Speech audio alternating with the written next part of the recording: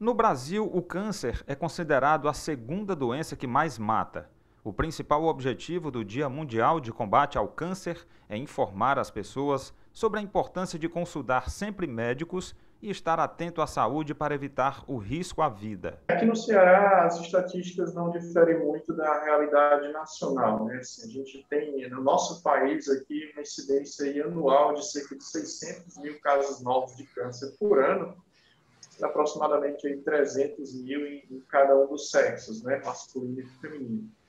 Tá? Em primeiro lugar, aí, número de incidência, né, a gente tem o câncer de mama para as mulheres e o câncer de próstata nos homens. Quanto mais cedo descobrir e tratar, mais chances de conviver bem com a doença.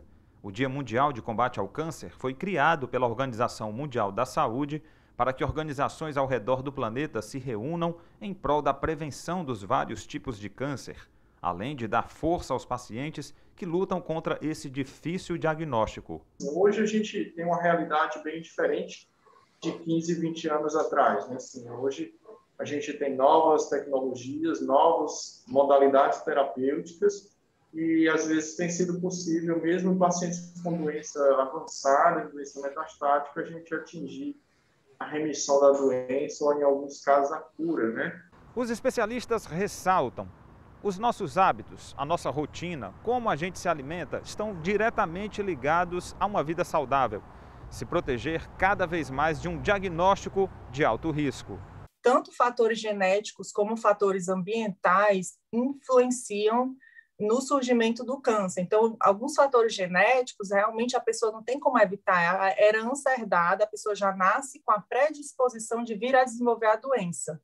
Já os fatores ambientais são aqueles em que a gente pode ter um certo controle, que são influenciados pelos hábitos de vida. Quanto mais cedo, melhor. Mas nunca é tarde para manter a saúde longe das ameaças. Evitar o cigarro, nunca fumar, moderar a quantidade de ingestão de bebida alcoólica, manter uma alimentação saudável, rica em frutas, verduras, produtos naturais ricos em fibras, evitar produtos industrializados ricos em açúcar, em gordura, carnes processadas.